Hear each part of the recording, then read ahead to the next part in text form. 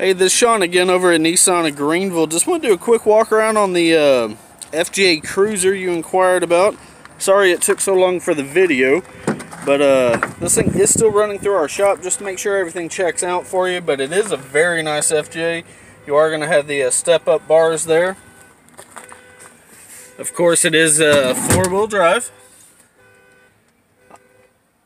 AM, FM, CD. You do have the park sensors on there. Got the aftermarket roof rack. Like I said, very clean car, no no damage, no dents, scrapes, anything like that. And then if you take a look at the front here, you do have some uh, the aftermarket lights on there as well. They do work, which is a positive. So if you would, give me a holler, 972 855 7048. Thanks.